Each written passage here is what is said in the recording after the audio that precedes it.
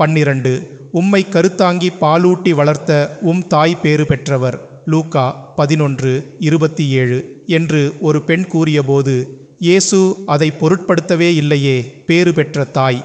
இயேசு போதித்து கொண்டிருந்தபோது கூட்டத்திலிருந்து பெண் ஒருவர் உம்மை கருத்தாங்கி பாலூட்டி வளர்த்த உம் தாய் பேறு பெற்றவர் என்று குரல் எழுப்பி கூறினார்.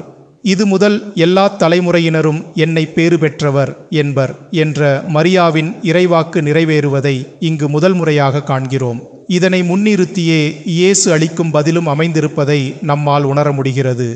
இறைவார்த்தையை கேட்டு அதை கடைப்பிடிப்போர் இன்னும் அதிகம் பேறு பெற்றோர். அந்த பெண் கூறியது தவறு என்று இயேசு கூறவில்லை. தம்மை பெற்று வளர்த்ததால் மட்டுமல்ல இறைவார்த்தையை கடைபிடித்து வாழ்ந்ததா லும் மரியா மிகவும் பேறு பெற்றவர் என இயேசு புகழ்ந்துரைக்கிறார் காலம் நிறைவேறிய போது கடவுள் தம் மகனை பெண்ணிடம் பிறந்தவராகவும் திருச்சட்டத்திற்கு உட்பட்டவராகவும் அனுப்பினார். கடவுளுடைய மாட்சிமையின் சுடரொளியாகவும் அவருடைய இயல்பின் அச்சுப்பதிவாகவும் விளங்கும் இவர். தம் வல்லமை மிக்க சொல்லால் எல்லாவற்றையும் தாங்கி நடத்துகிறார். இவ்வாறு அனைத்தையும் தாங்கி நடத்தும் வார்த்தையான இறைவனையே தாழ்ச்சியால் தம் வயிற்றில் கருத்தாங்கும் பேறு பெற்றவர் மரியா.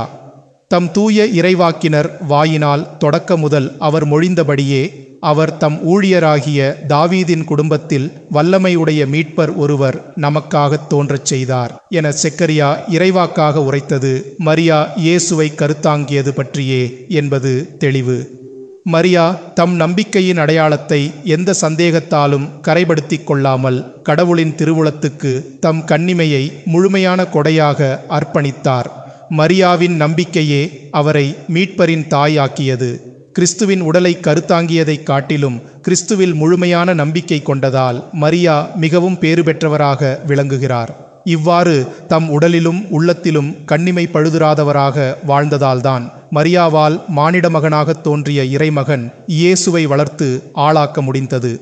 ஆண்டவரையே தம் மகன் என்று அழைக்கும் பேறு பெற்றவர் மரியாவைத் தவிர யார்? மரி உயிர்த்த இயேசுவின் அன்னையும் எங்கள் பாதுகாவலியுமான தாயே நாங்கள் குறைந்த விசுவாசம் உள்ளவர்களாக இருக்கிறோம் என்பதை நீர் அறிவீர். காணாவூர் திருமணத்தில் ரசம் குறைந்தபோது பரிந்து பேசி நல்லுதவி செய்தது போல் எங்களுக்காக இன்று பரிந்து பேசி அருள்பற்று தருவீராக.